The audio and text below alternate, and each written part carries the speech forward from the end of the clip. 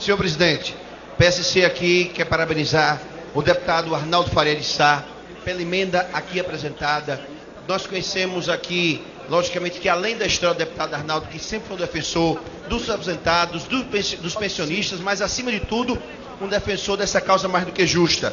Nós não podemos permitir mais uma perversidade, nós não podemos permitir uma retirada de mais um direito, mais uma garantia dos trabalhadores, desta vez dos aposentados, dos pensionistas do Brasil.